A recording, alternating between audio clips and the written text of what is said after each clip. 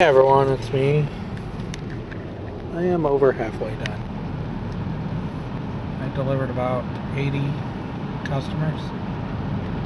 70 or 80, 70, 70 some or 80 some customers, something like that. But I'm not doing too bad. It's like 8 minutes after 1. My partner called just a few minutes ago to see how I was doing.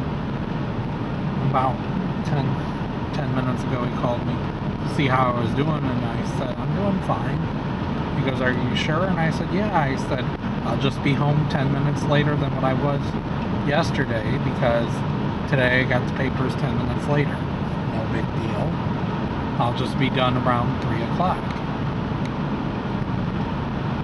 It was like 20 till, well, 2.30 yesterday, so it'll be probably around 20 till 3 today, but like I said, I'm not doing too bad.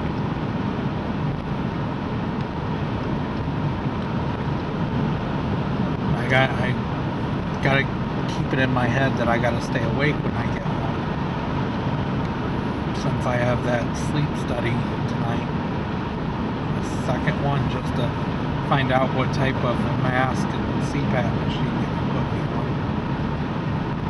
Which I think it's stupid. You go for the initial one to see that you have it, and then you have to go back for the second one to see what type of machine you have to have.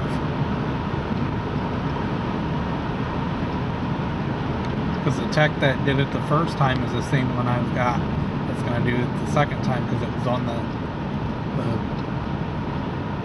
ProMedica's website saying that I would have the same tech, and it's like, really?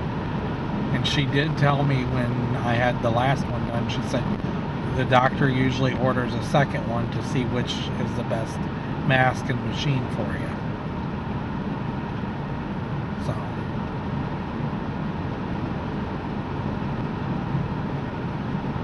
I'm going to stop it right here. Please like, please subscribe, and I'll talk to you guys soon. Have a good day. Bye.